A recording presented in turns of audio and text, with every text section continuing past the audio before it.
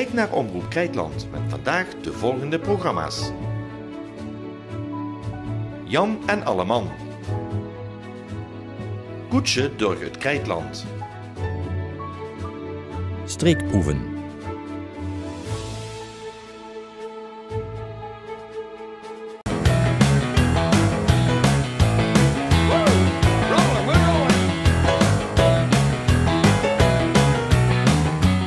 We zitten vandaag hier in uh, Grand Café Neuburg en zitten nebenbij met uh, Jean Schrijnemakers. Ik heb gehoord uh, dat Stig nog een aantal nachten vergulpen, hoe ze het PR-werk gedaan hebt, dat Stig dat nu met stoppen is. Ja, dat klopt. Ja, het is een tijd voor komen en een tijd voor gewoon. En ik denk dat dit een mooi moment is om te stoppen met de PR van de nacht verlopen. Ja, wie bent eigenlijk op het idee gekomen om met die PR, die toch speciaal met bezig te gaan houden? Leeft de nacht niet voordat ik aan uh, PR begon? Nee, ja, daar, daar rolt ze eigenlijk een beetje in, denk ik. Um, ik word al lang secretaris van de, van de veldlopers en uiteindelijk ja, heb ze toch ook vanuit die periode schreef ze uh, persberichten en uh, mm -hmm. hebben ze ook veel contact met pers en dat soort dingen. En ja, dat wordt eigenlijk ja, begin twee, eind 99, 98, wie meerdere vacatures binnen de organisatie vrijkwamen. Ja, we lopen eigenlijk van de hand dat ik de functie van Jan Fransen zou overnemen. Mm -hmm. Wie heeft zich dat opgestort? Heb zich PR-ervaring wisselen aanbegoos of wordt het totaal nieuw voor dich? Uh, ik heb eigenlijk geen ervaring anders dan wat ik net vertelde vanuit de veldlopers. Ik heb daar ook nooit uh, een studie in gehad of zo. Nee, ik ben daar eigenlijk iets blauw in, in, in, in terechtgekomen. De dag van nou de Groningen eens even die nacht uh, op allerhande, via allerhande media uh, eens even populair maken. En dan komen we van tien bekende stukjes natuurlijk tegen, een paar weken voor de nacht en de weekbladen enzovoort. Klopt, maar um, ja, het voordeel is wel, ik heb natuurlijk jaren de nacht gelopen en de wits natuurlijk als, als ja, ervaren uh, nachtloper ze waar, ja, waar behoefte aan is. Uh, en dat, dat gebruiken ze ook in de, in de persberichten. Dus ze proberen zoveel mogelijk de, de, de nacht naar buiten te promoten in, in brede zin. Maar ze proberen ze ook na te denken over weekends de de deelnemers aan de nachtvergulpen zelf ook nog gaat bieden tijdens de nacht. Daar is eigenlijk ook de hele sfeer prijs ontstanden. En daar moet eigenlijk ook om daar lui te kunnen motiveren voor, via die PR-functie, moest ze eigenlijk zelf voor gelopen hebben. Um, ja, het, het heeft heel veel voordelen als ze weet wat de nacht is, als ze hem zelf gelopen heeft. Maar het hoeft natuurlijk niet per se, maar het, het heeft wel zijn prijs. Hoeveel jaar heb je dit nu precies gedaan? Ik heb hem tien keer gelopen. En ja. ik heb uh, um, 98 ben ik eigenlijk bij de organisatie terechtgekomen. Mm -hmm. En op dat moment uh, leef ik al, al de nacht. Ik heb hem toen uh, zes keer gelopen, als ik me goed herinner. Dus ik heb eigenlijk vier jaar um, zowel de nacht gelopen als -hmm. PR gedaan. En dat waren eigenlijk best wel heftige jaren. Ja. Ik hou van mezelf zo goed gemaakt van ik wil proberen, mm -hmm. als eens het lukt, tien nachten vol te maken. Ja, ja. ja. En diezelfde periode word ik ook voorzitter van de, van de veldlopers. Ja, en dan uh, is wel de deal, op het moment dat het zo gebeuren in de nacht, mm -hmm. en dan zien dingen dat ze geregeld moeten weer, dan, dan moet ze natuurlijk goed Tegen het aanspreekpunt. Ja, dus ja. Uh, dat wordt de deal uiteindelijk in de organisatie. En ik moet zeggen, ik heb tien keer kunnen, kunnen, ja. kunnen doen. Uh, worden het te veel moeilijkste nachten voor te lopen ook, dat ze met de gedachte toch vaker ergens anders uh, ja. wordt. Ja, klopt. Um, dat merk ik nu zelf ook, maar dat worden inderdaad best wel uh, heftige jaren. Enerzijds um, lupste, maar de best psychisch met de nacht bezig, met heel veel dingen in de nacht, maar ook de dag voor de nacht. Hè. De, de, omdat ze in de organisatie zitten, te bouwen ze dingen met op. Dranghekken bis en slepen, de bis nog uh, twee dagen voor de nacht zelf is met zoveel uh, vergadering bezig, instructie van, van de vrijwilligers. Dus de lichaam heeft eigenlijk heel weinig rust, mm -hmm. of zeg maar geen rust. En als je dan de nacht is lopen en dan ook nog de PR onder de nacht is, dat is, dat is heftig. Ja, en dat, dat betekent dan, als ik zelf even een conclusie op mocht trekken, dat zich in 2016 is de PR nog en vanaf 2017 gaat zich wel gewoon in juni de nacht meelopen? Uh, dat weet ik nog niet of ik dat ga doen. Want uh, als ze de nacht loopt, dat, dat vind ik, tenminste van mezelf, dan moet je ook zorgen dat ze traint te. En daar zit hem heel veel tijd in. Als je de nacht wil trainen en je wil alle trainingstochten meelopen en tussendoor nog gaat lopen, dan, uh, ja, dan, dan geen tijd in zitten. Want ik blijf het zeggen, de nacht is niet alleen lopen, de nacht is alles wat eromheen zit. Die sfeer die de nacht heeft, die is zo, zo uniek eigenlijk. En het zou doodzonde zien als ze uh, totaal vermoeid binnenkomen en die sfeer eigenlijk niet metbeks. Want dat is het mooie van de nacht. Mm -hmm. uh, de nacht heeft pieken gekend met heel veel deelnemers. Ja. Uh, is bepaalde tijd minder geworden door allerhande oorzaken. Ja. wie kent ze dat in de PR opvangen? Hebben ze daar invloed op? Nou, de kinderen proberen op te vangen, maar het blijft natuurlijk heel moeilijk. Um, het enige wat ze kunnen doen is heel attractief de nacht brengen in, in, in de media. Door de sfeer die de nacht heeft. Door met ze mensen lekker te, te maken en um, tot nadenken te brengen van, goh, dat wil ik ook een keer doen, die nacht.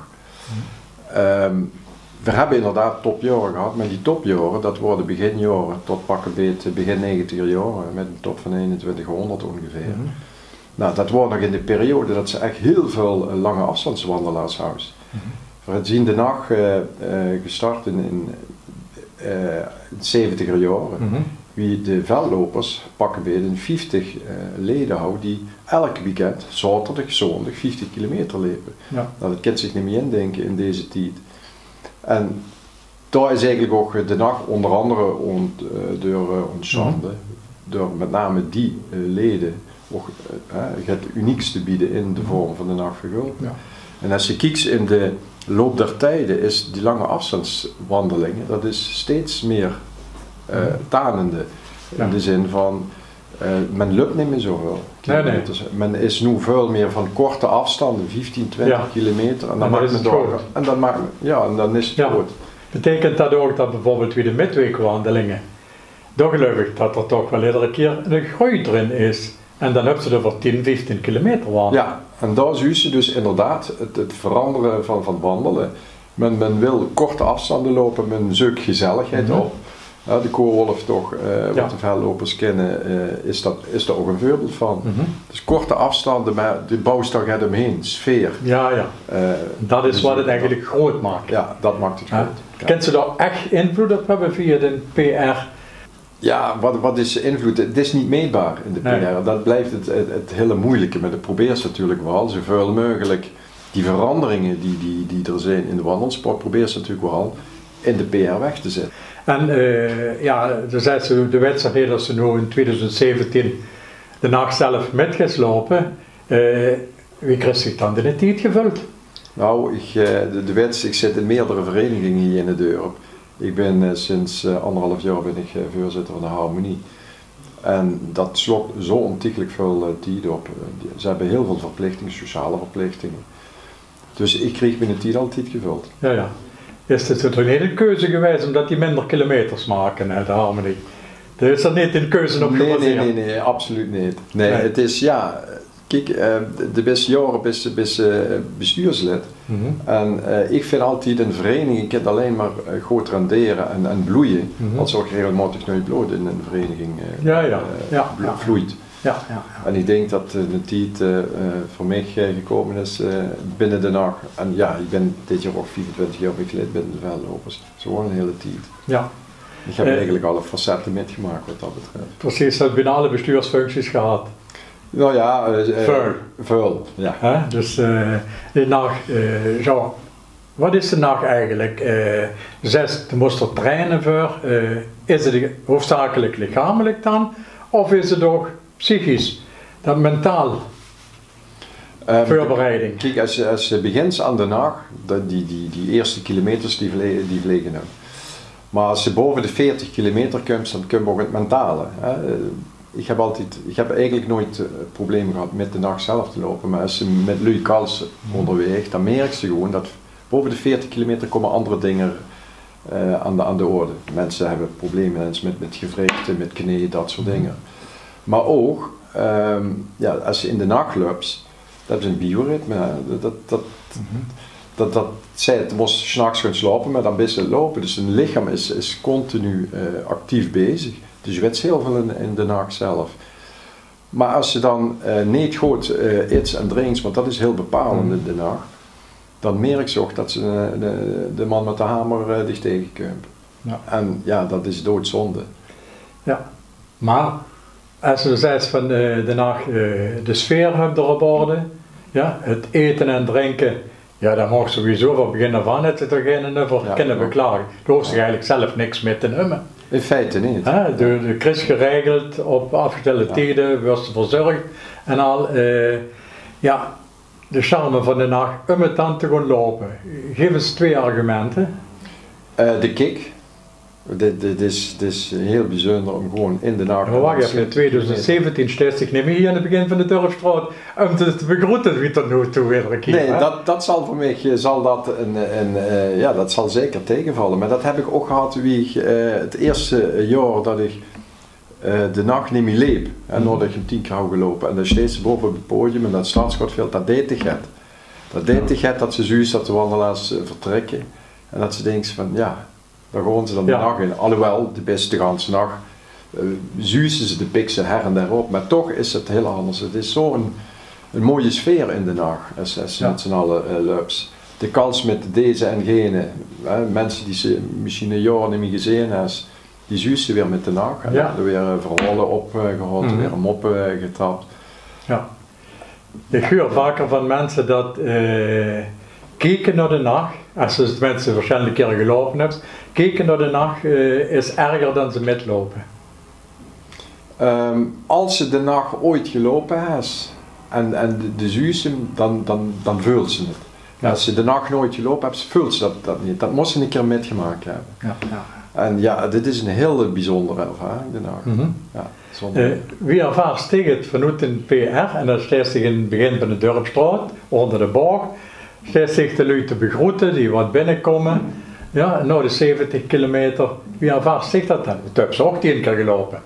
Ja, ja wie ervaart dat? De winst, de, de bismeug is binnenkomst. Maar als je goed getraind bent, ben je ook weer heel snel hersteld. En dat is denk ik ook het heel belangrijke. En wat ik, wat ik misde in de tijd dat ik zelf de nacht leef, is de komst wel binnen de deur binnen. En dat is ja, in tijd, hè, begin 90 jaren eh, tot aan 2000, ja, dat wordt vol hier eh, met, met de mensen.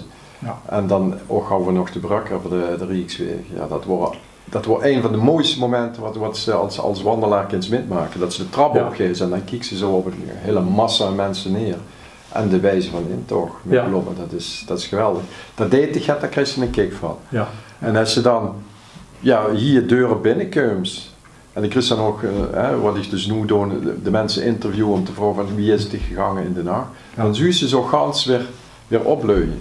Ja. dan, de best toch 70 kilometer best bezig geweest met lopen, lopen, lopen.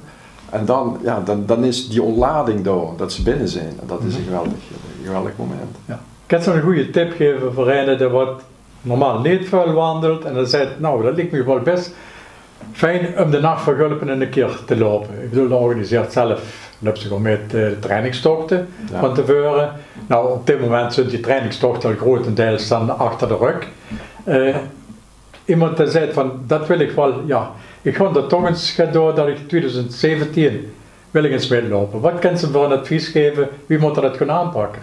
Nou, uh, een moderneren wil zorgen dat, ze, dat de veu gewend zijn te lopen. En als ze jaar van tevoren begint, dan wordt dat makkelijk in. Dan begint gewoon elke weekend met, met gewoon even lekker een stukje lopen, is maar een kilometer of uh, vijf à tien.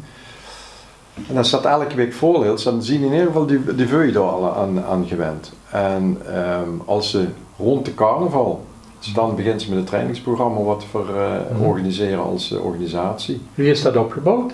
Dat is opgebouwd als volgt. Hebben ze eerst een tocht van 25 kilometer. Mm dan kreeg ze een van 30 kilometer. Een van, 32, van 35. Nog een van 35. Dan kreeg ze een van 40. Dan een van 50.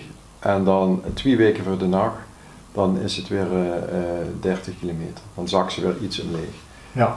Dat is eigenlijk het programma. Dus hebben ze om de week hebben ze een trainingstocht. Mm -hmm. wil niet zeggen dat ze dan niet moest lopen. Dat, dat vergeten sommigen wel eens. Die zeggen van als ik trainingstochten loop, dan ben ik Ja. er. Nee, de moet zorgen dat de Het is beweging niet alleen de trainingstocht te Ja. lopen, daarmee trekt ze het niet. Nee, trainingstocht is ook min of meer bedoeld om te wennen aan het tempo. Ja, dus een tempo van eh, gemiddeld eh, 5,5 tot 6. Ja. Wat ze lubs. En de lubs in groepsverband. Daarvoor zijn eigenlijk de trainingstochten nadrukkelijk eh, bedoeld. En in de momenten dat die trainingstochten er niet zijn, moest je gewoon eh, in de weekend gewoon Ja. een kilometer of 20 lopen. En wie kent ze dan wennen aan de nacht? Duisteren. kind- kind ze eigenlijk niet aan wennen. Eh, anders dan dat ze, eh, wat ik deed eh, in de week voor de nacht, dat was s'avonds, zo rond de uur of acht s'avonds. Dan ging ik eh, de, de, de koning van Spanje op en dan kwam ik zo ja, via, eh, Ja. via, via de wegdruk. Mhm. En dan leef ik zo anderhalf uur eh, echt flink, Ja. flink gas geven. En dan, dan, dan begon ze een beetje te schieven, maar echt duister, ja, dat kent ze niet Dat moest ze ervaren. Ja, ja, en met z'n lessen hoe het geest en heb ze het gedronken en heb ze ook een zin meer om dan nog eens het echt te wandelen. Nee, dat Ja, is dus, goed. eh, Ja. Prima. Eh, Jean, mag ik je veel plezier wensen in alles wat de Noorden-PR-functie van de nacht is door. Dankjewel. Ja. En eh, ja, volgens mij uh, ze toch in 2017 metlopen. Ja, wij weten. Huh? Ik sleet de Nederhoed in ieder geval. Ja, ja, ja. Prima. Verzinnen ze in ieder geval bij de nacht. Dankjewel. Finally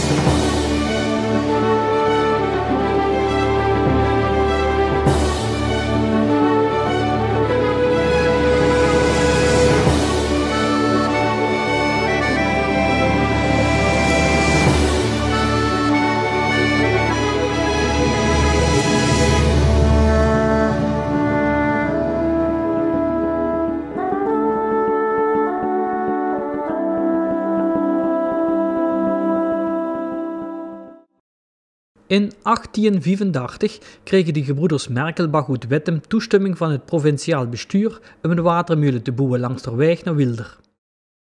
Het water wordt over een afstand van 2 kilometer door een mulenbijk aangevoerd vanaf de Selzerbijk naar een vergaarviever. Het gebouw is geleidelijk over de mulenbijk heen gebouwd, zodat het raad inpandig is opgehangen. In de mulen vingen we een middenslagrad, waarbij het water op ashuigte op de schoepenbuurt geleid. Ja, de Wittemmermeulen is eigenlijk een restant van een eerdere landschapsaanleg. Eh, rondom Wittem is eh, de heer van Plettenberg erg bekend. Hij heeft geïnvesteerd in het klooster, eh, waar ook een tijd lang kasteelheer van kasteel Wittem. Maar hij vond schijnbaar ook dat er een, een mooie verbinding moest, moest worden aangelegd naar kasteel Kartiels. En wat hij bedacht heeft, heeft, de Wittemerlee aangelegd, een, een mooie keersrechte verbinding tussen die twee kastelen. Eh, het was geen openbare weg, want aan begin en het eind stond een slagboom.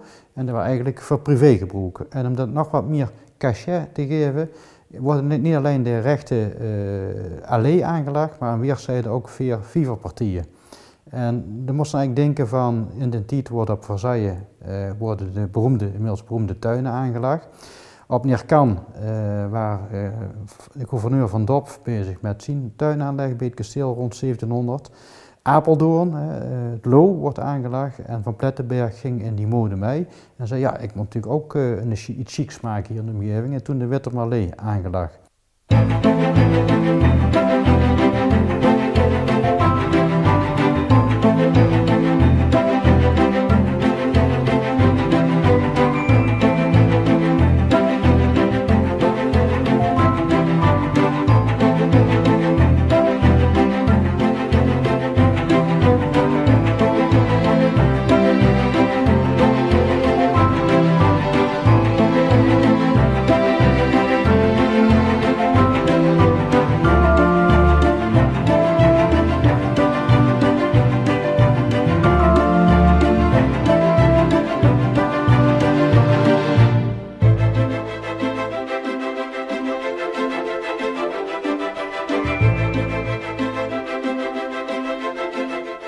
Vivers kon ze in ieder geval uh, weer opnieuw uitdiepen. Die zijn allemaal dichtgeslipt, zeg maar, door, door uh, ja, jaren ja, niet onderhoud gepleegd te hebben.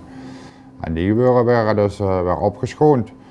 En dat ook wel dadelijk die meulen weer goed kunnen functioneren.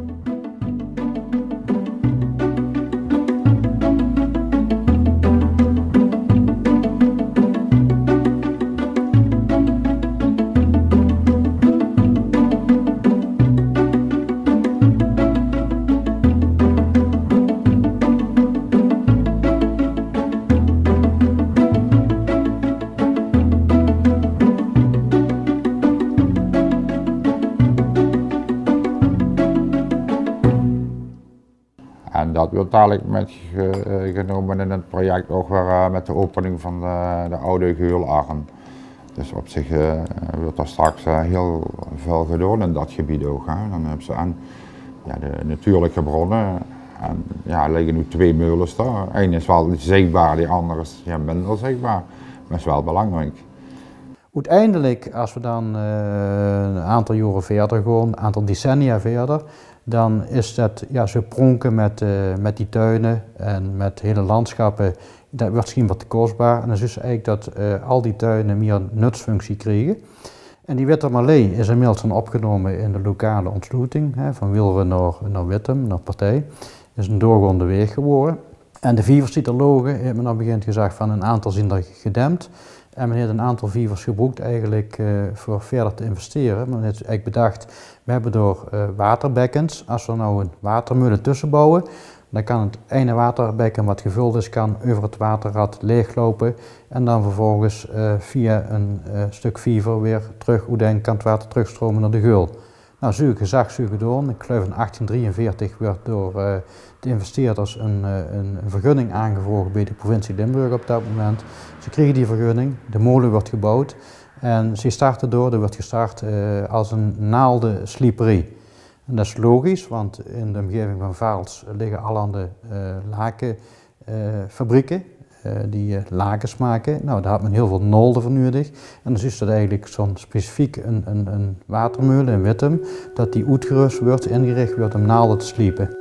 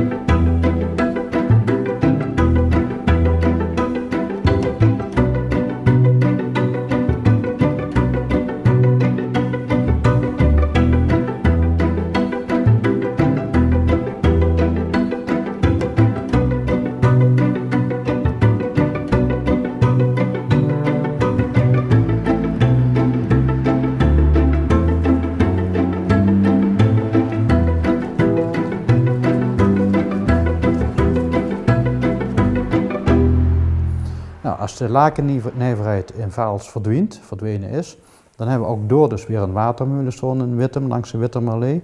En dan is het logisch dat men begon door een, een graan, uh, een koppelstenen zet om graan te malen. Nou, en eigenlijk is die functie gebleven tot pakweg 1960, 64, misschien wat langer. In 1976 startte Natuurmonumenten en Limmersandschappen gezamenlijk de actie uh, Geurdal. En het doel is eigenlijk middelen bij elkaar te krijgen met Geurdal specifieke landschappen, natuurgebiedjes, maar ook cultuursoorten, waardevolle monumenten om die te kunnen bouwen. Nou, heel eh, Nederland doneert eigenlijk geld, eh, specifiek in het Geuldal, ja, eh, dingen eh, eh, om het goed, eh, landschappen veilig te kunnen stellen. Nou, en dan zie je dat die actie zo ontzettend succesvol is, dat Natuurmonument de Volmolen in, eh, in Epe kan aankopen en Limburgs Landschap de Wittemermolen eh, langs de Wittemerallee.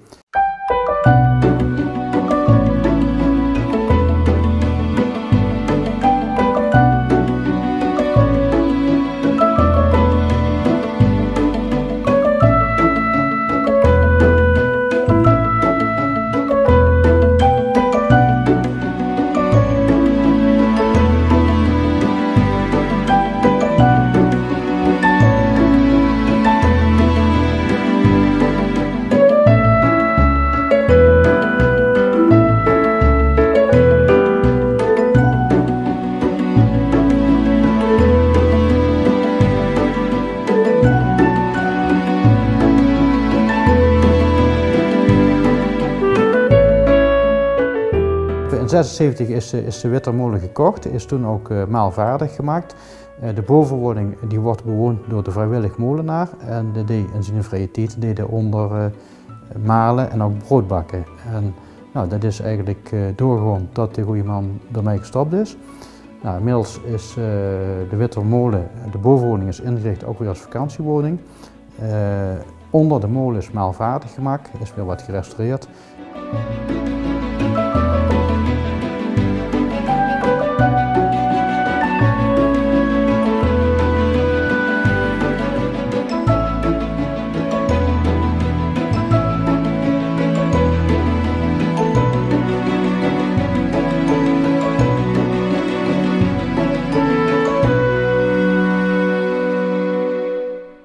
Dus onlangs eh, is ehm, de molen eh, weer maalvaardig gemaakt. hè. Ze waren wat sleets geworden. Maar we hebben ook ontdekt dat eh, ja, de molentak verland is geworden. De, de molen heeft ook een aantal jaar stilgestaan, een Christen verlanding.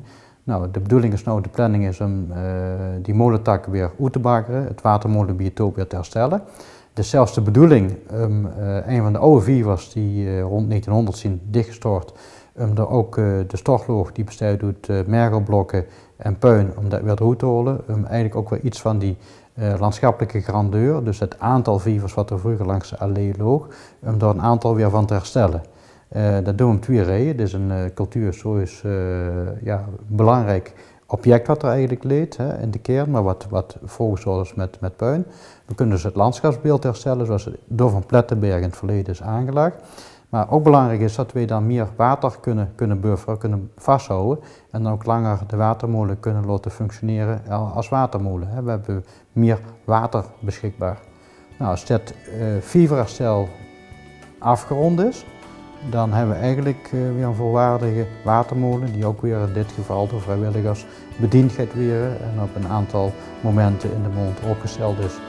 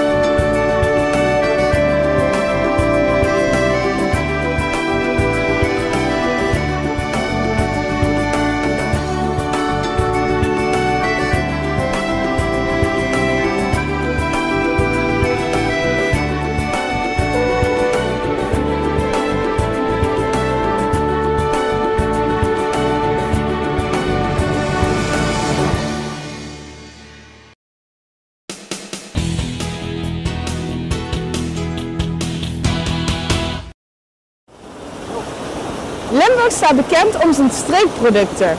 Voor de eigen inwoners, maar ook voor de toeristen. Om zelf mee te koken of om te verkopen.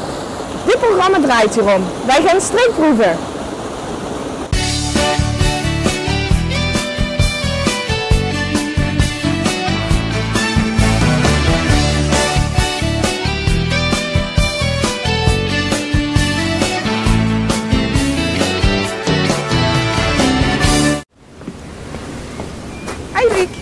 Hey Nancy, Hallo. fijn dat je er bent. Ja, Kom zitten. alles goed? Absoluut. Ja, Luc, waar ga je me deze keer naartoe sturen? Nou, ik wil je eigenlijk de wereld van de kruiden een stukje laten zien.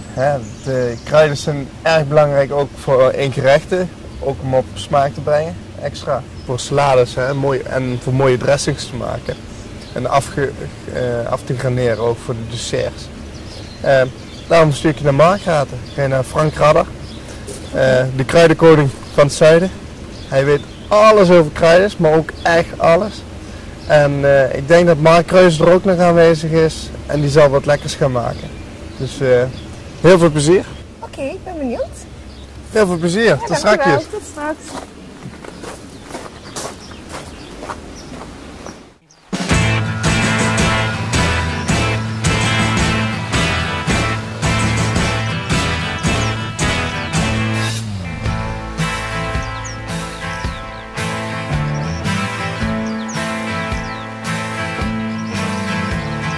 Frank, je kruidenkwekerij, hoe is het ontstaan?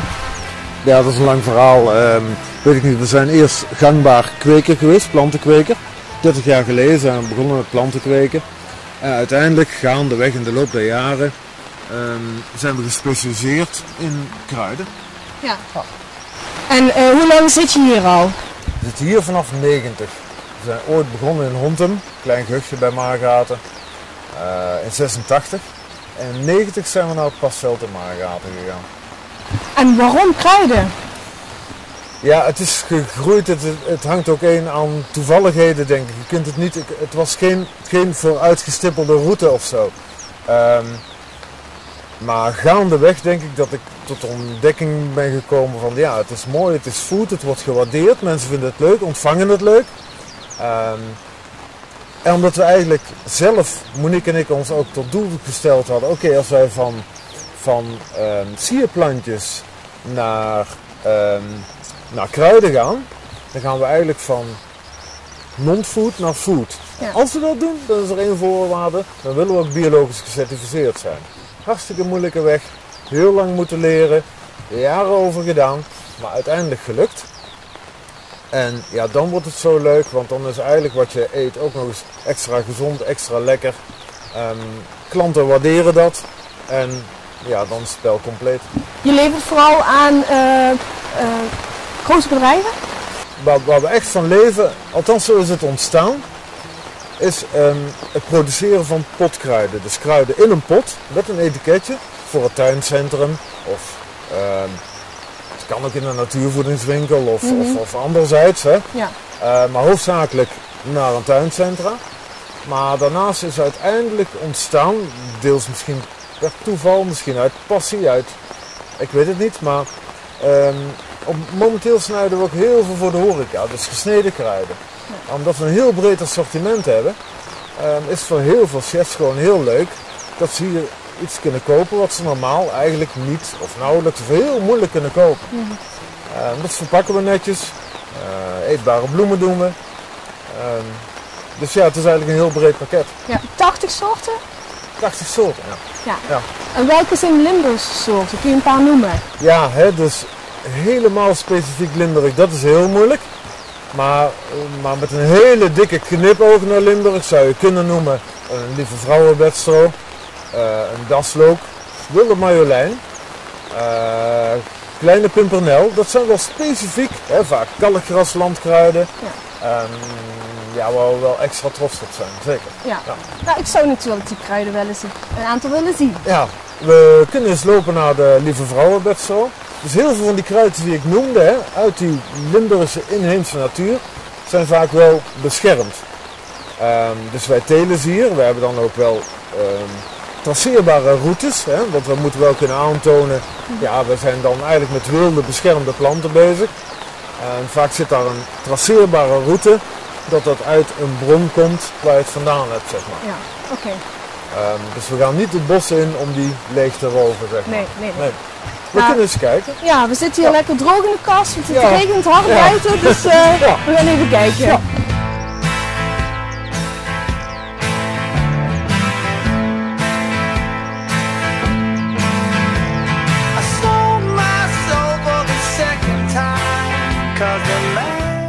Frank, eh 80 soorten, heel veel. We gaan ze niet allemaal lopen. Eén soort, eh, we staan hier bij, eh, welke is deze? Ja, we staan hier bij eh, Lieve Vrouwenbedstroom. Dat is een, eh, dat is een eh, bosplantje, zeg maar. Eh, wat ook inheems is in Limburg. Eh, het is wel zeldzaam, ik zou het moeten nakijken. Ik weet het niet uit mijn hoofd, maar vrijwel zeker dat hij beschermd is, terecht. Je gaat dus dit niet oogsten in de natuur. Hè, dus dit, dit, dit, dit wordt gezaaid. En het zaad komt van elders. Hè, dat is allemaal traceerbaar. Dus je krijgt het zaad binnen. Wij krijgen het aangeleverd en we zaaien het of we stekken het bij de kan. Als je één keer gezaaid hebt, je hebt de planten, zou je het ook kunnen stekken, Ja. zeg maar. Hè? Ja. En dit is nu klaar voor geplukt te worden? Ja, dus dit is eigenlijk eh, het ultieme oogstmoment. Ik kan het even laten zien. Kijk, dus ehm, de mooiste aroma's die komen, nou ja, kijk, we zouden het met Mark nog eens door kunnen nemen. Ehm, maar normaal gesproken is inderdaad als een kruid in bloei staat, of nog net voor de bloei, hè, dat je nog, hè, maar goed, hier heb je nog wat bloemknoppen erin. Ehm, dit is ultiem om te oogsten. Oké. Ja. Dus komen nu net op het goede moment? Ja, eigenlijk. zeker, absoluut. Ja. zeker. En dit is ook zo eetbaar? Ja, absoluut. Het is lekker. ehm, ehm, ja, wel zeker. Proef maar. Eh, bloem is lekker. Eh, de bladkroontjes zijn lekker. Gewoon zo mond? Zo. Ja hoor. Ja. Het ruikt ook heerlijk.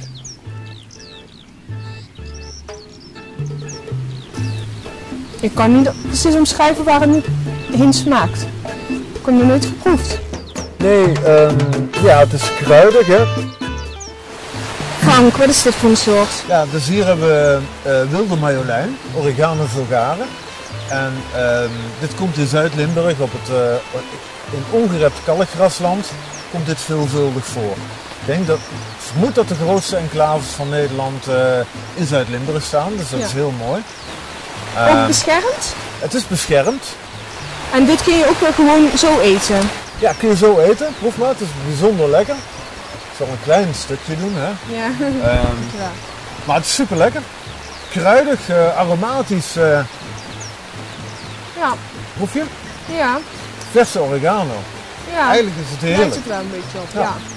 En, ja, je noemt hem al, eh, Mark. Wat is dat precies? Ja, dus Mark, eh, we werken nou sinds een jaar samen met Mark. Hoewel, we kennen Mark al jaren. We zijn uiteindelijk om de tafel gaan zitten.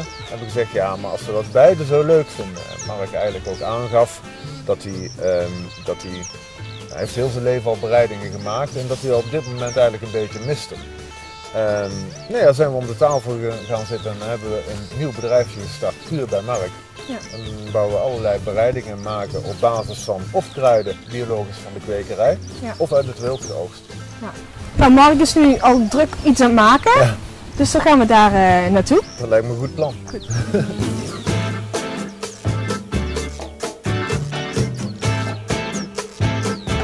Mark, je bent bij kruidenkwekerij erbij gekomen. Hoe is dat zo eh, gebeurd? Ja, ik kende Frank en Monique al jaren. Vanwege dat ik chef in een restaurant was, kocht ik mijn spulletjes bij Frank. En eh, zo zijn we aan de praat gekomen eh, dat ik wat van die kruiden kan eh, gaan gebruiken voor delicatessen te produceren. Ja. En wat doe je vooral? Wat maak je? Ja, we, maken, we, we hebben een hele range aan producten. Eh, we hebben eh, siroopjes, geleitjes, zouten, eh, dressings, olies, eh mayonaise zijn we mee bezig. Dus een heleboel lekkere en bijzondere dingen. En allemaal van, van kruiden van hier uit Margraten. Ja. En dat doe je fulltime? Nee, ik doe dit niet fulltime, maar ik, ik doe dit ge- gecombineerd. Ik ben nog chef-kok in een ander restaurant. En eh, dit doe ik eh, ook nog erbij. Wa- wa- Waar mijn passie ligt, dat vind ik prachtig dit te doen. Dit hier met, met wilde kruiden. eh, en gekweekte kruiden, daar iets bijzonders van te maken. Dat is Ja. erg leuk. Ehm dadelijk gaan we ook, ga je ook iets maken? Ja, ga je wat wat ga je lekkers maken? gaan. Frank heeft een, een, een bonte schaal met, met kruiden verzameld en daar ga ik een lekker salade van maken met wat asperges, van wat bloedworst, van wat geitenkaas. Maar de hoofdzaak is de kruiden.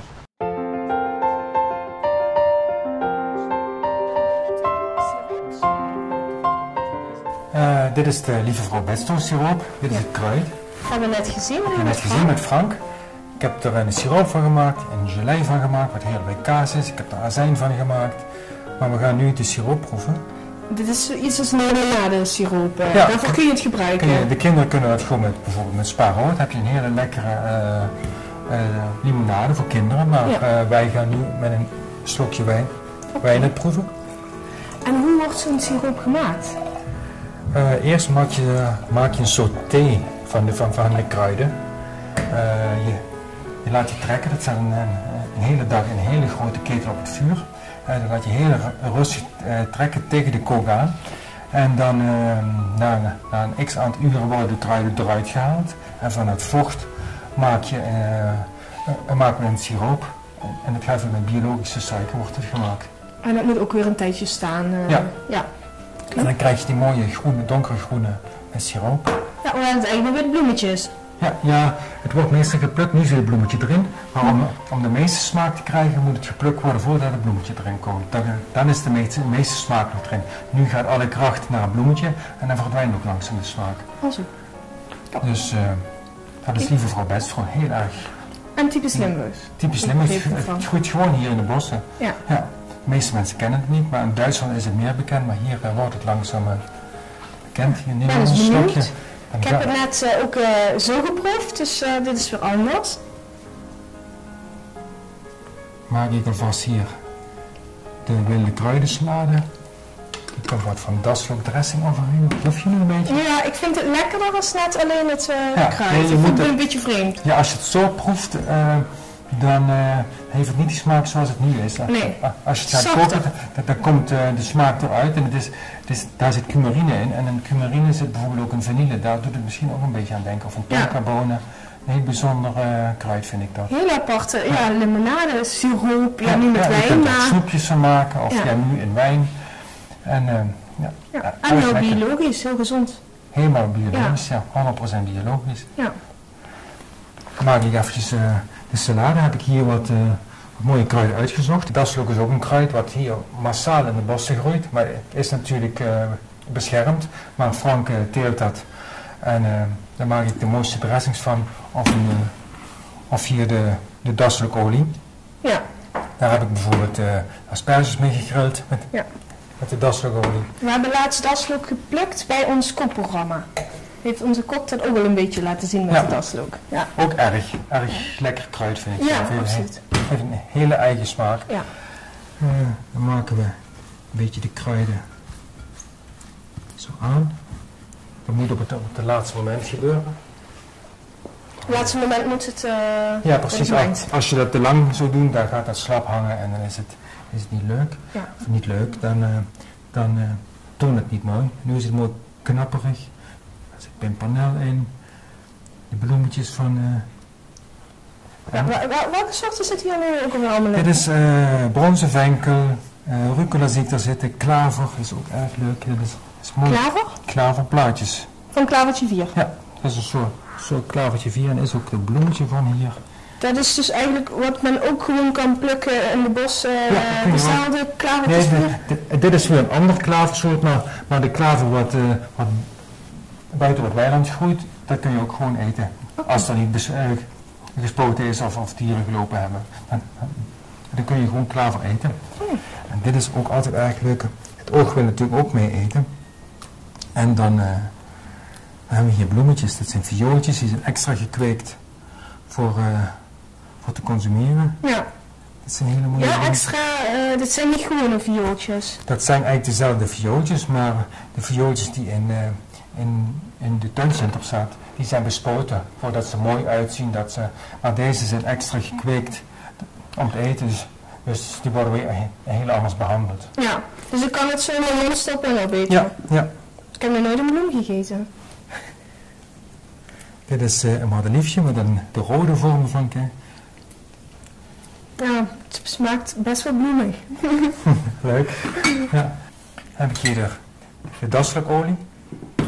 Die druppel ik er nog een beetje omheen. Ik weet hier is een geitenkaasballetje. Eh, asperges? Asperge Heb je even een beetje Ja, voor de smaak erbij Ja, gedaan? nee, ik, ik heb gewoon een, een, een volledige maaltijdsalade gemaakt. Dus alle componenten zitten erin. En natuurlijk de hoofdcomponenten zi- zijn de kruiden. Hm. Maar er zit wat van kaas in. Hier heb ik wat bloedworst gebakken. Wat gegrilde asperges. En dan natuurlijk met alle producten van Puur Mark Ja. Erin verwerkt. Nou, En eh, zo heb je een hele prachtige, lekkere, mooie, uitziende eh, salade. Met die bloemetjes eromheen nog. met heel veel kruiden, heel veel bloemen en dan een beetje aangevuld met asperges en eh bloedworst. Ja, en vooral met de producten die ik maak. Ja, Beetje zout nog. Ik heb ook dat maakt het eigenlijk op smaak. Ja, daar moet je het niet op smaak maken. ja. Ja, ik ben benieuwd. Ik wil natuurlijk graag wel Wil eens je een hapje proeven. proeven hier? Ja, zeker. Het ziet er echt heel mooi uit. Dan maak ik nog een borstje klaar voor Frank. Dan zullen ze smakelijk eten. Ja, smakelijk. Ik weet niet waar ik moet beginnen. En het is ook heel gezond natuurlijk. Hè. Vooral de wilde kruiden. Die, eh, Ja. Ja, alles biologisch en eh Ja. ja. gezonder kan niet, hè? en je zult ook merken, daar is ook een echte bite hè. Als je nu gewoon een blad sla eh, zou eten, eh, dat- bestaat bij- bijna 90% uit water. Mhm. En dit is gewoon heel meer, eh, veel meer vezels. En dus dat merk je ook eh, met kouwen. Maar, maar als je zo'n borstje gegeten hebt, dan heb je wel een voldaan. Gevuld. Ja, Ja. Nou, dat proeft goed. goed zo. Nou, Mark, het was heerlijk. Lekker.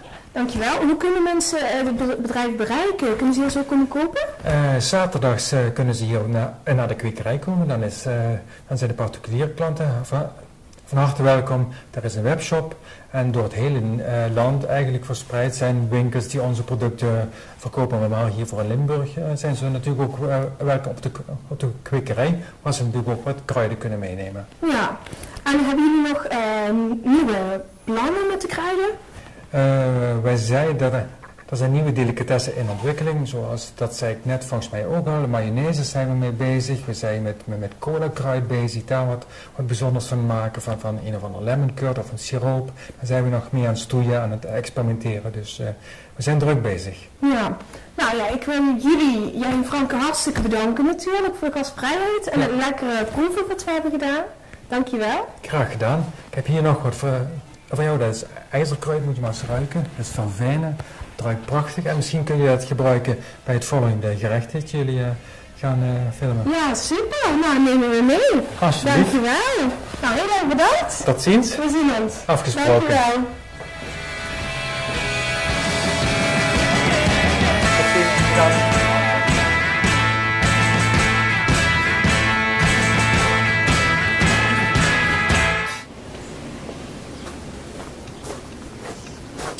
Hey Nancy. Hey. Wauw, wat heb jij bij je?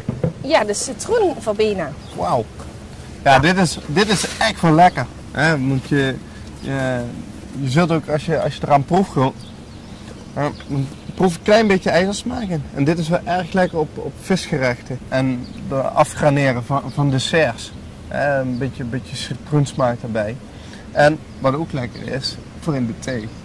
Maar je kan hem ook als kamerplant gebruiken. Maar het lekkerste is om deze kruiden ook te gebruiken. Ja. Ehm, ehm, voor in gerechten. Ja, leuk. Ja, het was ook heel interessant. Heel veel kruiden gezien. Ik heb zelfs bloemen geproefd. En uh, Mark had nog een lekker gerecht gemaakt. Dus, Ja, dat kan hij wel zeker. Ja. Ja, ja, En Rob kan hier ook wel wat leuks mee maken. In de volgende kookuitzending. En eh, de volgende keer is dit de aanwijzing waar je dan naartoe gaat. Nou, klinkt spannend. Ben benieuwd. Geef hem met jou. Goed, neem me mee. Nou, bent u ook zo benieuwd wat volgende keer naartoe wordt gestuurd? Kijk dan weer naar een nieuwe aflevering van Streekproeven.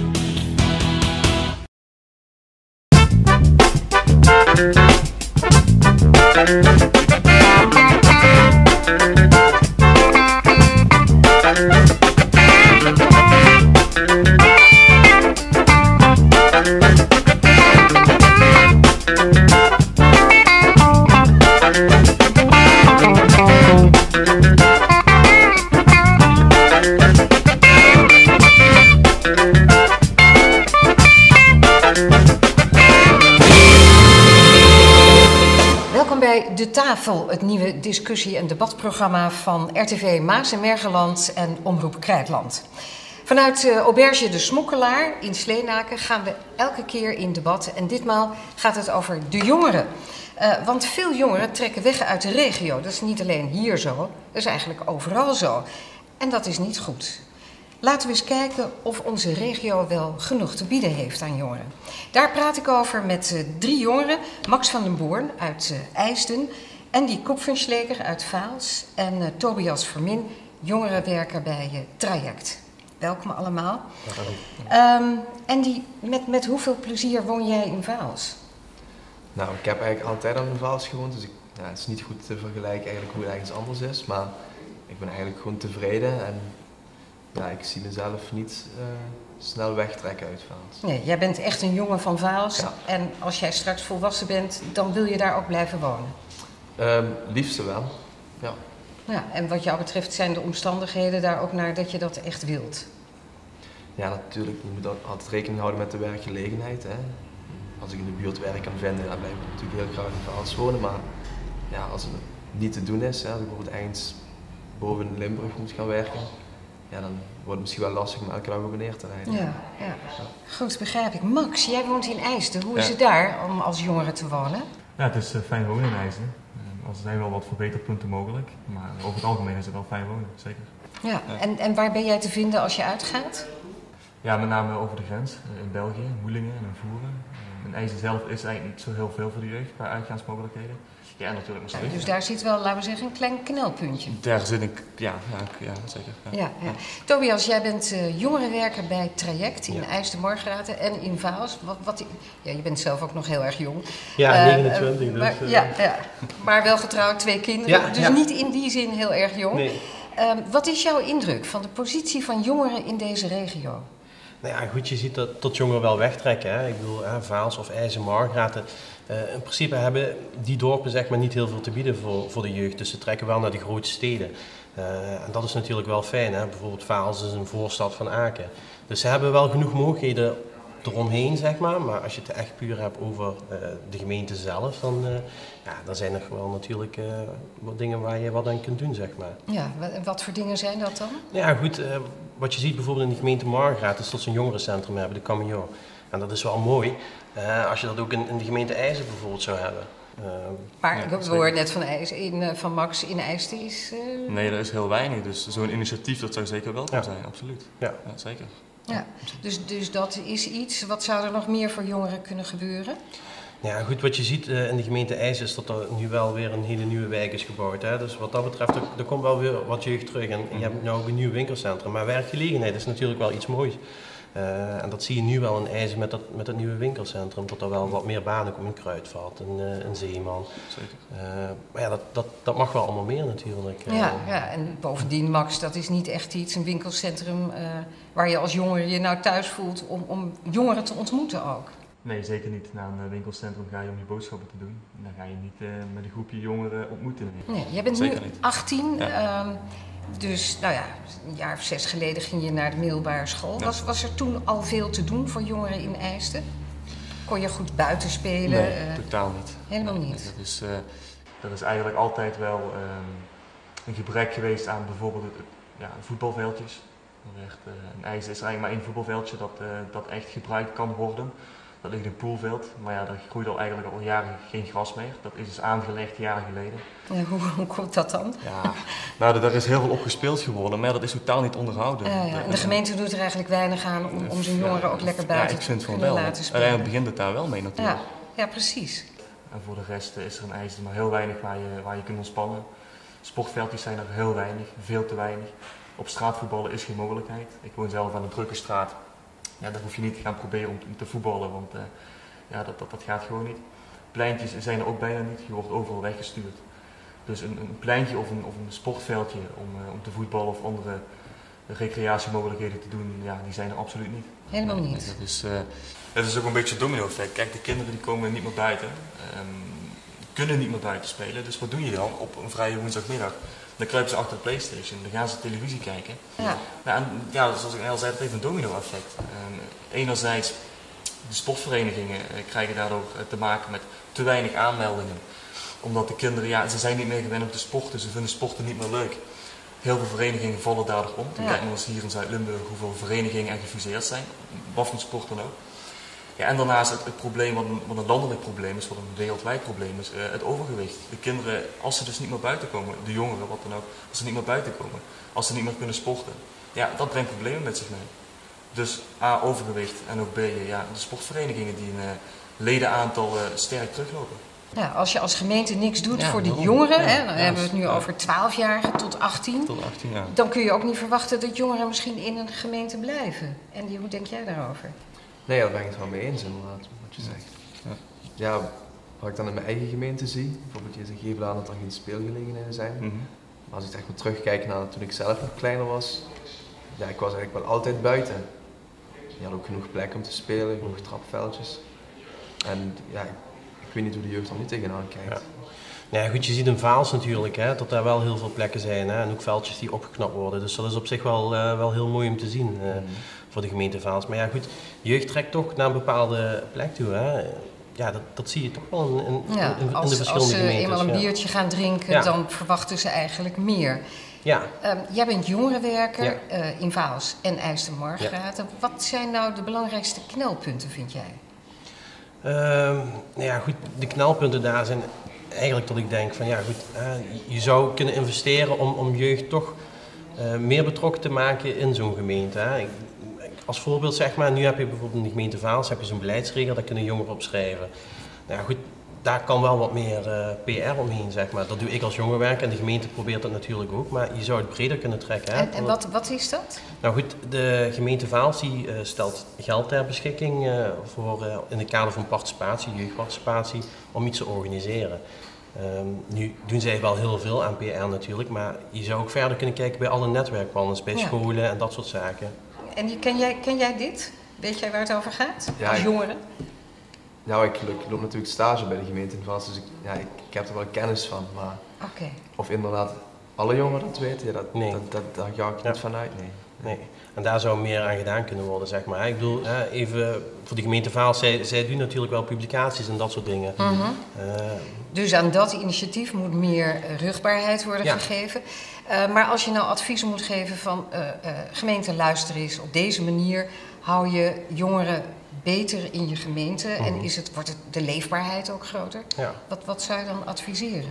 Ja, gewoon vooral goed luisteren naar de jeugd, hè? want de jeugd weet het zelf het beste natuurlijk. Hè? En ik denk Ja, dat maar dat jij bent zelf ook is. jong, dus, ja, ja, ik ben noem zelf eens ook wat. jong.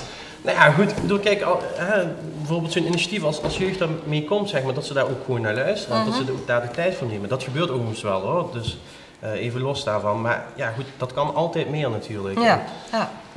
Dat vind ik gewoon heel belangrijk. Ja. Max? Ja. Maar hebben jullie het dan met- over probleemjongeren? Want ja, eh, wat jij doet is dat met name met probleemjongeren werken. En, en, en de aandacht voor zeg maar, ja, de jeugd die niet onder probleemjongeren Mhm. valt. Nou, in principe ben ik er voor alle jeugd natuurlijk. Hè? Maar wat je ziet, hè, ik, ik kom veel in de openbare ruimte. Hè? Dus ik ga plekken op straat langs, hangplekken. En daar zie je toch wel een ander soort jongeren, zeg maar. Mhm. Eh, dus ik probeer het daar ook wel onder de aandacht te brengen natuurlijk. eh, Ja, ja. Om dit Ja. soort dingen te ondersteunen. Laten we eens kijken naar een aantal kleine punten die belangrijk zijn voor jongeren om zich prettig te voelen buiten de grote stad. Bijvoorbeeld openbaar vervoer. Hoe is het daar gesteld? Ja, dat kan ook beter. Ik ben onlangs eh, naar Meer moeten gaan. IJzen en Meer, dat is ongeveer een kilometer of tien. Ik had er een afspraak. Ja, goed, ik heb nog geen rijbe- rijbewijs, ik ben 18 jaar. Ja, dan heb je twee opties. Of je neemt de bus, en dan moet je omrijden via Gronsveld. Of je neemt de fiets. Nou ja, als je de bus neemt, dan ben je te voet nog sneller. Dus dat is eigenlijk geen optie. Eh, je hebt een buurtbus, die heb je, maar die komt niet in Meer. Ja, dat wordt ook wel heel moeilijk. En ja, als je daar een afspraak hebt, ehm, dan is het niet heel prettig om daar met de fiets naartoe te gaan. Je komt zeker wel één of twee heuvels tegen waar je overheen moet. Je trapt jezelf dan in het zweet. Nou ja, als je daar bezweet bij die afspraak aankomt, dat is niet prettig. Dus wat mij betreft is er qua openbaar vervoermogelijkheden nog heel veel, eh, nog heel veel ter verbetering vatbaar. En ja, goed, een buurtbus, die rijdt wel, maar ja, waarom komt hij dan niet in meer? Een buurtbus van de gemeente IJsselmargraten, maar hij komt in bepaalde eh, dorpjes niet. Ja, dat, dat kan in mijn ogen niet. Ja, maar Max, je bent jong, hè? Wat is er mis met een fiets eh, eigenlijk? Dus ben ik aan fietsen inderdaad. Ja, dat klopt ja. Ja. Ja, er is ni- niks mis met een fiets. Maar ja, zoals ik net al zei, eh, het is allemaal niet prettig. Als je daar naartoe gaat om, eh, om boodschappen te doen, is dat geen probleem. Maar als je een afspraak hebt, dan is dat toch niet zo heel prettig. Dus daar moet gewoon een, eh, meer bussen, Uiteraard, meer openbaar uiteraard. vervoer als ware het een stad. Dan maak je het ook aantrekkelijker. Ja, ja. Kost wel veel geld. Daarom is het Ja, het kost geld, maar dan kun je eventueel met wat kleinere bussen werken. Eh, waarom die hele grote Veolia-bussen? De buurtbussen zelf zijn ook nog redelijk groot. Als je ziet dat er voor de mensen die daarin zitten, die zit nooit vol. Dus dan kun je even met kleinere busjes gaan werken. Ja, waarom niet? Ja, en die? Openbaar Ja, wat dat aangaat, heb ik eigenlijk niks te klagen, nee. Ja, vertrekt eigenlijk om het kwartier wel een bus naar Maastricht of naar Aken of naar Heerlen. Dus eigenlijk wat dat aangaat, hebben wij het wel best goed. Ja. Ja. Wat ben jij tevreden eigenlijk? Ja, ja. Ja, maar hoe komt dat? Is Vaals eigenlijk toch een, een bijzondere eh, gemeente om te wonen als jongere? Ja, dat vind ik wel hoor. Want als je kijkt naar eh, de ligging van Vaals, hè, als je natuurlijk kijkt van wat binnen de gemeente zelf te doen is. Je hebt het jongerencentrum, je hebt een heleboel cafés waar jongeren heen gaan. Maar als je natuurlijk alleen binnen die grenzen blijft, ja, dan is het natuurlijk een beetje beperkt. Maar omdat Mhm. we zo centraal liggen, ja, ik, ik ga om het weekend bijvoorbeeld naar Keulen of naar, eh, naar Hasselt, naar eh, Aken, tegenover de grens, of naar Heerlen. Ga ik vaak bandjes kijken, net zoals in Eindhoven. Dus maar ja, je bent natuurlijk wel afhankelijk van een auto. Hè? Ja, ja. En ik zit En, een en jij hebt de besch- ja. Ja, we hebben allemaal een rijbewijs, we hebben allemaal een auto ter beschikking. Dus voor ons is het wel makkelijk om, ja, om er naartoe te trekken. Ja. Is het ook zo in het Heuvelland, van als je maar een auto hebt, als je, nou ja, laten we zeggen, vanaf een jaar of 18, 19 bent, dan is het te doen, maar anders? Ja, inderdaad. Ja, dat, dat ondervind ik dagelijks. En Zoals ik net al zei, ik heb nog geen rijbewijs. Dus ja, mijn vader en moeder moeten me vaak overal naartoe brengen. Hè. Zij fungeren dan als chauffeurs. Ja goed, dat, dat, dat kan ook niet altijd. Ik moet op heel veel plekken zijn in de gemeente. Dus dan is dat wel eh, een groot probleem. Ja. Dus papa moet veel rijden. Papa moet veel rijden, ja. Ja. En, en ja, kijk, het probleem is wat ik ook zeg met de fiets, ja, het heuvelland, ja. Als jij 10 kilometer vlak kunt fietsen, dan is het allemaal geen probleem. Dan moet je veel berg op en berg af fietsen. Dan wordt het een probleem. Ja, want ik denk dat dat wel een probleem is. Hè. Ik bedoel, voor IJzer dan nog iets minder, maar die kerndorpen eromheen is dat wel echt een groot probleem. Ja, dus als je meer woont of eh, Mhm. eh, daar ergens, dan, dan is het wel echt een, eh, een groot probleem, ja. Ja. Zo, hoe staat het eigenlijk met het verenigingsleven? Is dat belangrijk voor jongeren om zich lekker te voelen? Jij Ja. als jongerenwerker, wat, wat is jouw ervaring? Nou, wat je merkt in deze regio, in het Heuvelland vooral, dat het een, echt een heel bruisend verenigingsleven heeft. Hè. Je hebt heel veel voetbalclubs en wel minder. het wordt wel iets minder natuurlijk. Hè. absoluut. Eh, en je hebt een harmonie en noem maar op. Maar je merkt wel dat als je daar niet zo bij hoort, zeg maar, dat je een beetje buiten de boot valt. Ja, En- is, is dat iets waar je, jij je in thuis voelt, de harmonie? Want je zei net van ja, ik, ik sport. eh, Nee, harmonie voor mij persoonlijk niet. Ik ken wel heel veel mensen uiteraard in het dorp die bij de harmonie zitten. Dat is ook echt iets voor, hè, voor de streek. Ja. Ik persoonlijk eh, zit meer bij, bij sportverenigingen. En ja, zoals ik ook net al aangaf, eh, de sportverenigingen hebben enorm grote problemen. Dus wil jij eh, de jeugd, de jongeren hier in de, in de gemeente houden, zul je ook meer op sportgebied moeten gaan organiseren. En er wordt veel georganiseerd, maar het kan ook allemaal veel beter. Het zou heel zonde zijn als straks over een jaar of 10, 20 heel veel verenigingen omvallen. Zeker op de kleinere dorpen. De grotere dorpen is dat allemaal niet zo'n groot probleem. Maar de kleinere dorpen is dat wel degelijk een probleem.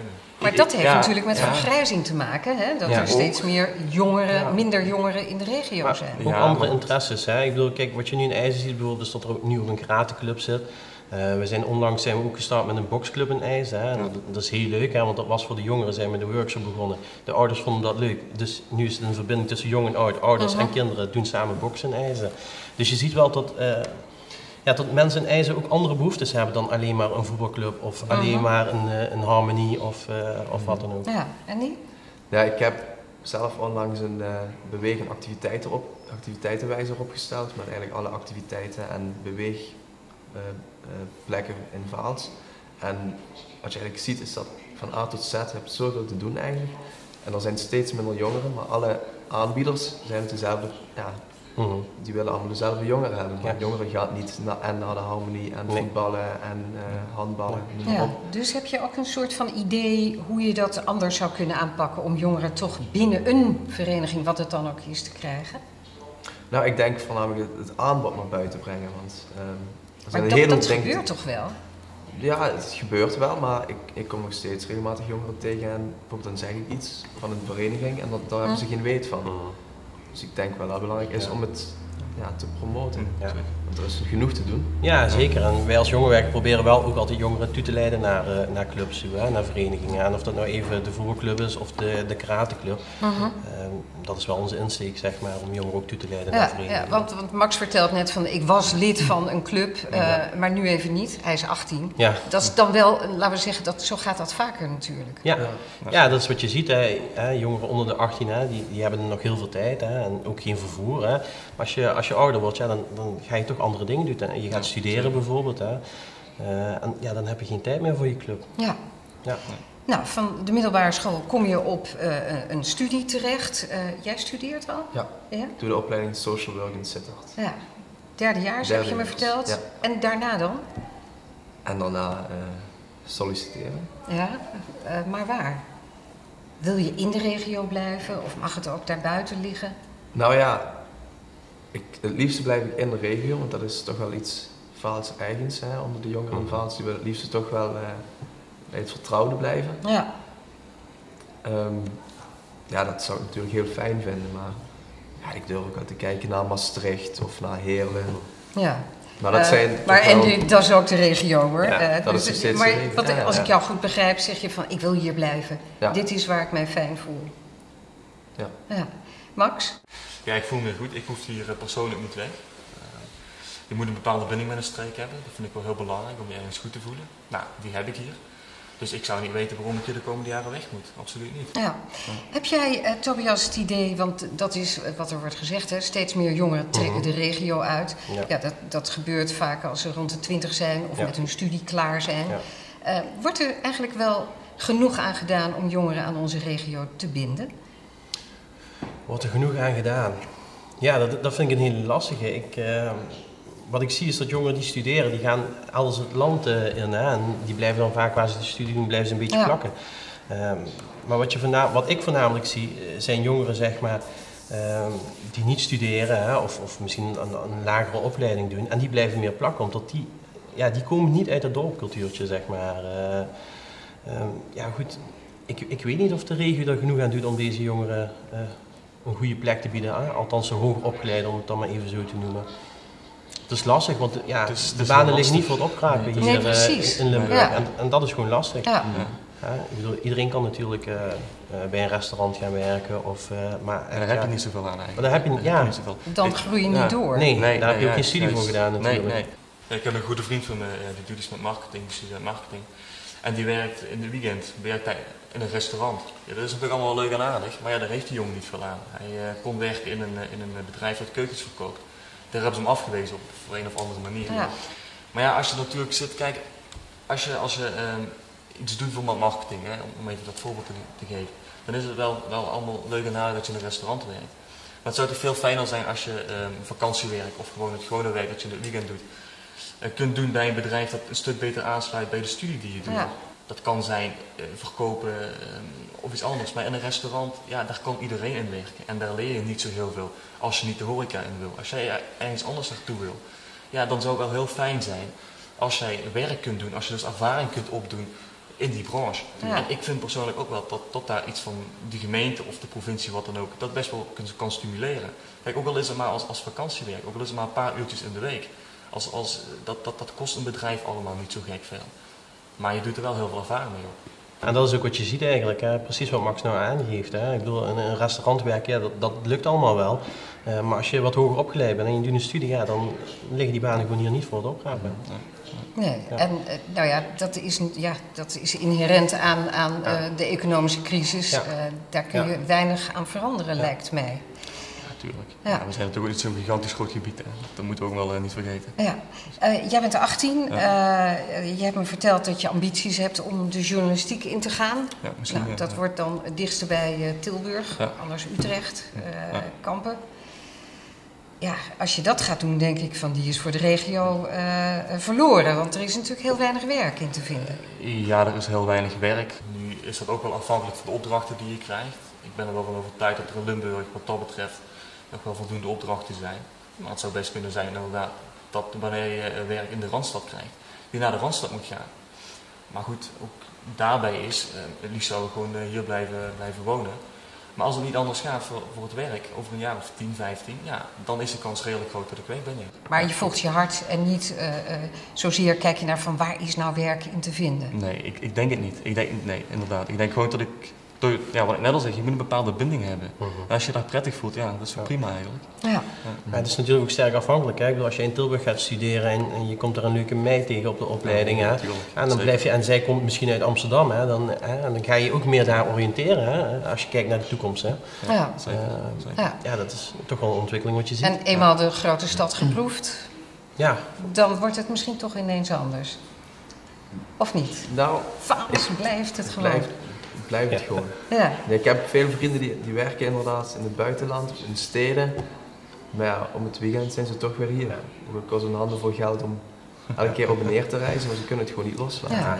Goed, nou concluderend. Jullie zijn eigenlijk heel erg tevreden als ik het zo hoor. Ehm, Jij werkt als jongerenwerker. Ja. Zijn er ook grote groepen jongeren die het niet zo goed eh, hier hebben ja getroffen? tuurlijk. Ehm, maar dat zijn meestal jongeren die ook geen werk hebben of geen studie hebben gevolgd. En dan wordt het gewoon allemaal een stuk lastig. Hè. Ehm, En dat, dat is eigenlijk helemaal niet regiogebonden, dat heb je overal. Dat heb je overal natuurlijk. Ja. Alleen eh, wat je ziet in die dorpculturen, is dat er meer opvalt natuurlijk. Hè. In, die, in die grote stallen als Maastricht, hè, dan gaat het snel op in de massa of in stad als Aken. Maar in een dorpje, ja, dan weet je precies wie het is. Hè. Dat is Pietje van die straat natuurlijk. En dan valt Ja. het gewoon meer op. Ja. Ehm, goed, concluderend zei ik net al. ehm, eh, jullie zijn eigenlijk heel tevreden als jongeren hier in deze regio. Ehm, waar het wel aan ontbreekt is openbaar vervoer, fatsoenlijk. Misschien ook wel onderwijsmogelijkheden en werk vinden. Hmm. Uitgaansmogelijkheden. Sportfaciliteiten. Sportfaciliteiten. kunnen, ja. En dan zijn we rond.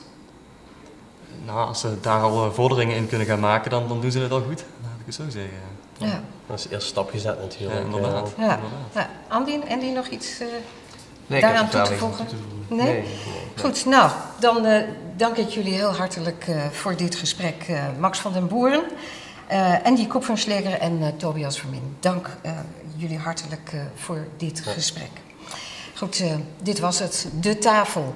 Eh, heel erg bedankt voor het kijken en graag tot een volgende keer.